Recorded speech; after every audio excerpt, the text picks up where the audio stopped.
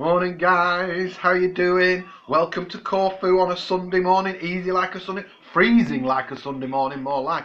It's absolutely brassic here on Corfu this morning.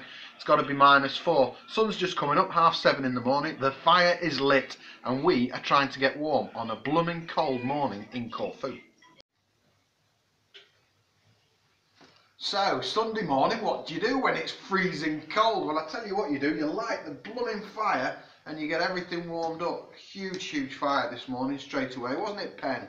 Pen, is it cold? Emma, how are you in your little sacky, nice and warm? How's Peppa Pig today? Is Peppa Pig good today? Huge Peppa Pig fan. She's an absolutely, you know, already, which I don't know. I don't quite like sticking her in front of the TV just like that. But hey, I guess some things you have to do, don't you? Penny, how are you dealing with the cold? You're alright? Now the fire's lit. Are you? Oh, brilliant. Just a quick word, guys. It's really nice to get feedback from people. I mean, we, we really enjoy getting the feedback and the thanks for everything that we do on KCTV.